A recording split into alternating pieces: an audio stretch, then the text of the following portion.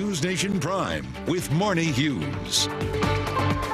Good evening. I'm Rudabeh Shahbazi in for Marni Hughes tonight, and we begin in Russia, where reports of misinformation and frustration with the war in Ukraine may be putting an even bigger target on Americans there. The State Department, in a new warning, is raising concerns about U.S. citizens still in Russia, saying they're being singled out by Vladimir Putin and Russia's government.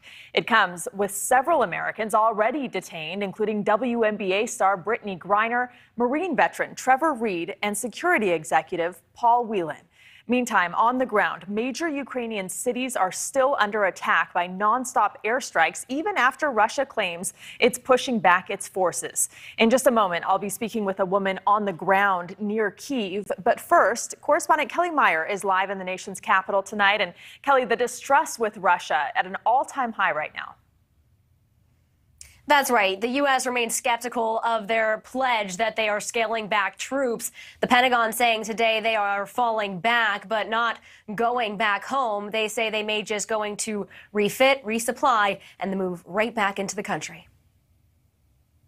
Americans being targeted in Russia. In recent weeks, we have seen reports of U.S. citizens being singled out and detained by the Russian military in Ukraine. The State Department says Americans face harassment by Russian security officials and can be arrested. Spokesperson Ned Price says they don't have a solid number of Americans detained in Russia, but they're able to visit a few notable Americans like WNBA star Brittney Griner, who remains incarcerated.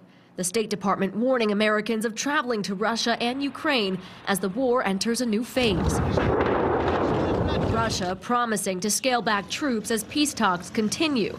U.S. officials caution don't call it a Russian retreat. Question whether he's pulling back his forces depends on how you read exactly what's going on. Thus far, there is no clear evidence that he's pulling all of his forces out of Kiev. The Pentagon says those forces are moving into the neighboring country of Belarus out of the line of fire, where they are resupplying and refitting after taking a beating in their effort to overrun the Ukrainian capital. The Ukrainians are fighting very, very well.